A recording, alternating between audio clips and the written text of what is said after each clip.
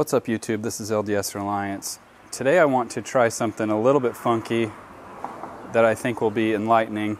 As I was getting ready to work on the solar shed this morning, I glanced at this lithium battery and you may have seen my uh, Noco Genius uh, vi video yesterday um, trying to restore this, this car battery here that is dead. And it didn't work. uh, I haven't given up yet. I want to try some other tricks to try to revive that battery. But I also got the idea of trying to jumpstart this car with this little bitty lithium iron phosphate battery. It's just a 25 amp hour battery if you haven't watched the other video, uh, but it packs a pretty big punch. And so I was curious. I, this battery in here was about 11 volts or so when I left off, so it's not going to provide much help at all. But I just wondered if I could get this car to start with this little battery. So let's find out.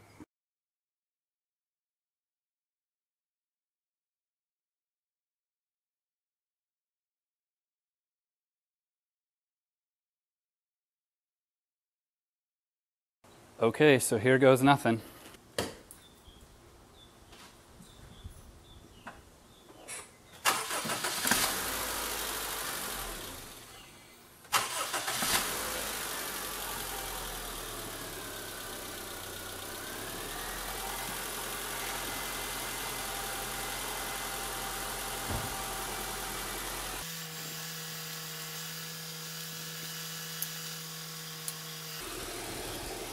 All right, there you have it. I'm actually kind of surprised.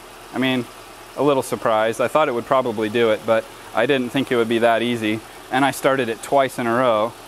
So, pretty impressive. That is a really strong battery for the size and the weight and everything. Now, ideally, I don't think that's a car starting battery. It's, it's a deep cell or a deep cycle battery type of, um, but it, it does work. So anyway, just thought I'd do a cool little experiment this morning and and uh, satisfy my curiosity and take you guys along for the ride. So thanks for watching. For more crazy experiment videos in the future, hit subscribe.